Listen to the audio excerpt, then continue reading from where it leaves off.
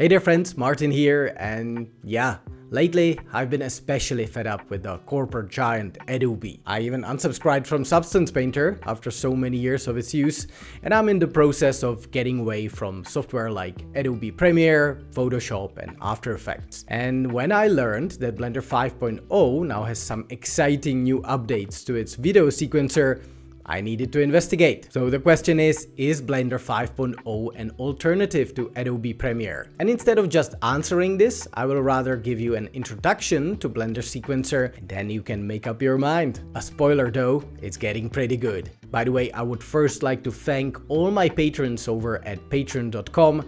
You make this channel possible guys, so thank you very much.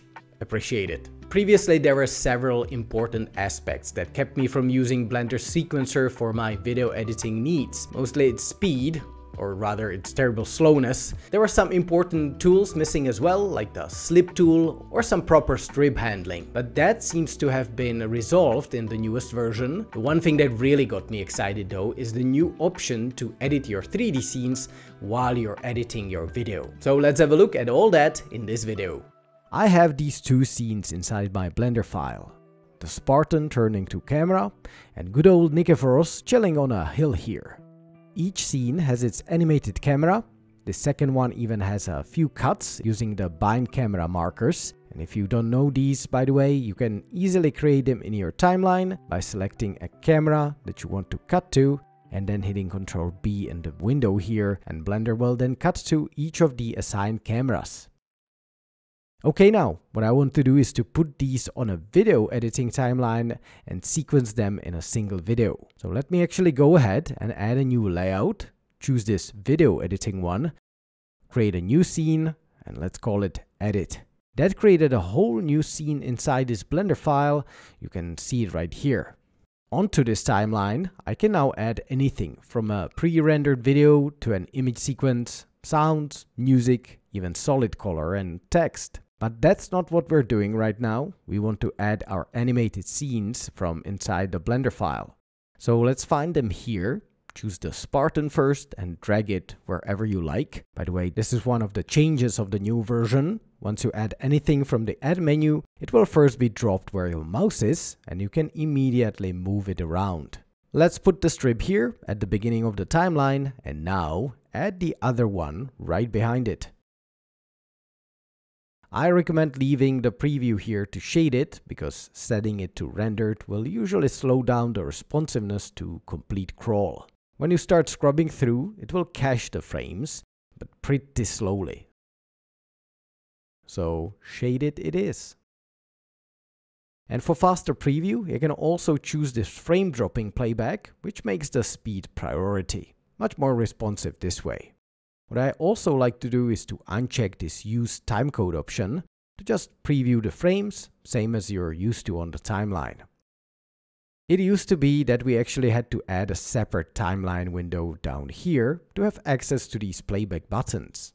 In Blender 5.0, the sequence window has it by default, so yeah, much more convenient.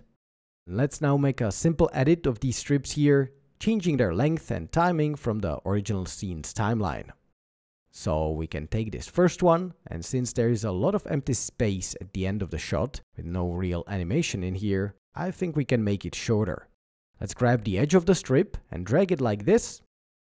Newly, there is now a slip tool in the tools menu, shortcut S, which allows you to slide the content of the strips instead of just playing with the in and outs. Besides that, circle and lasso selection tools have been added as well. Let's have a look at this second strip here. I think it starts a bit too early. So let's scrub to where Nikephoros starts raising his hand.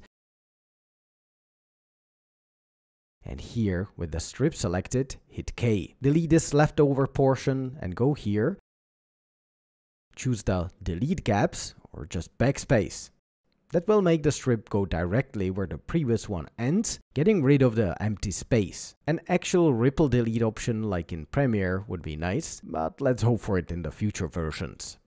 And now let me quickly make this new layout, add a big viewport window here on the left with timeline at the bottom, and you can save it as scene slash editing layout. This way we can have a look at the simultaneous editing feature. As you can see, my 3D scene edit is empty. It only contains my editing timeline here.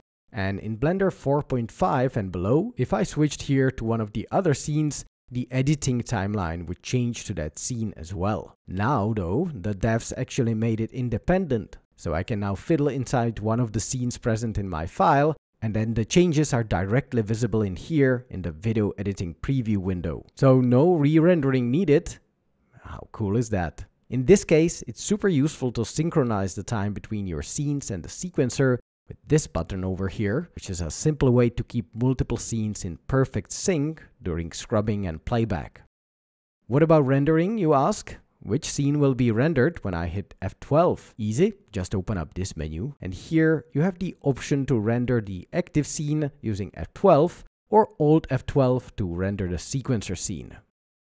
With larger scenes that are slower to playback, this simultaneous editing functionality falls apart a bit because working with them gets even slower in the editor. But for smaller scenes, simpler animations, and previs, this is absolutely awesome, making the process of experimenting and making new animation sequences so much faster. With a bit more added performance and streamlining, I believe this will become a gold standard for me not needing to render out all my shots before editing them. Still, for larger scenes and final edits, I actually recommend doing that to be able to work much faster with your strips. So let's change to another file where we can add some already pre-rendered shots. You can put in any video files here. And also, if you have image sequences in a folder, just select all of the frames in the folder, load it, and it will function as a video strip too. First thing I like to do here is to right click on this movie strip menu and set it to render size so that our blend file is set to the same resolution as our strip. And while at it, you can also set the correct FPS. In my case, this is 24. By the way, if you want to learn everything there is to know, or at least uh, what I know from my studies at film school, definitely check out my CG Boost course, Master Cinematic Storytelling, where I take you from complete basics of film and art language to editing your own shot sequences and even short films directly inside of Blender. It's like a film school for 3D artists, and I really poured everything I know about filmmaking into it. At this point, I want to highlight a super important feature that changed its location. It's the prefetching option, which is now located here in the sequencer's shelf menu. Once you hit it, Blender will quickly pre-render your strips to be able to play them without any lag. Sometimes though, when you, for example, re-render your shot and the source changes, you'll want to refresh your strips, and you do that by using the Ctrl E shortcut.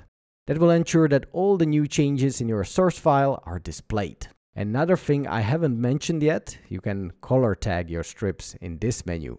A small thing, but neat and great for having the timeline more organized. Let's add some audio as well, a short music track to accompany these shots.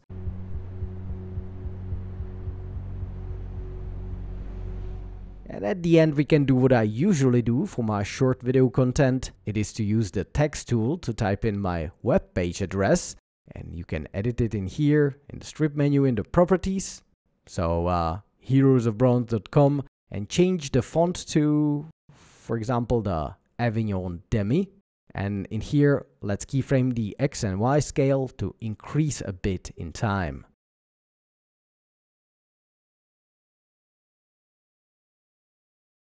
And in the graph editor set the animation from Bezier to linear so it doesn't speed up and slow down. Nice. And now I usually take one of my shots, duplicate them and put it underneath this and make them really dark and desaturated. And oh, how convenient. I can actually demonstrate another awesome feature on this. Because in Blender 5.0, you can actually access Compositor for each of the strips on your timeline, which is a huge thing. It allows you to add so many effects and their combinations directly when editing. For that, let's switch to Compositor and also have a look at here where this new section is in the properties. It's for the strip modifiers because newly you add them right here as opposed to the sequencer shelf. This is much more in line with how adding modifiers functions when working with objects in 3D viewport So definitely a great UI choice. And here, apart from some basic ones that you would expect in any editing software, lo and behold, there is the option to add the compositor. Just make a new compositing group, find it here in the compositor window, and you can layer here any number of effects that you like. So for us, use the curves node and bring the highlight point down like this, and then the hue saturation node and desaturate. We could have in fact used just this value option instead of the curves, but uh, yeah, I wanted to show you how easy it is to layer effects now. Good, that's it. Better yet, let's add another composition group on another strip. I name it based on this shot so that I can differentiate it and then load it up down here. And see, you can now use presets, which include some of the most common effects like the vignette, split toning, chromatic aberration, and even some that were previously very difficult to make, for example, film grain. This is such a great addition, something I really wanted to have in Blender for a long time, and I really can't stress enough how exciting this is. If you like using professional tools like Vectorscope, Histogram and others, you'll have to open up a new preview window and set them up here. They're much faster and better looking now. So that's a great thing for people who know their way around coloring and grading shots. So now we have two shots, some music, a title at the end with a shot below it, and now we can just go to properties. And if you want to render out a video, just set it right here in the output, in the encoding, and you can probably switch to MP4, H264 codec. Don't forget the audio. Specify where you want to store your video and then hit render sequence. That's how easy it is to use Blender Sequencer and how far it's come in the latest version. When it comes to video editing features, almost everything I wanted is already in, ready to be used and enjoyed, especially since the software is and will remain free.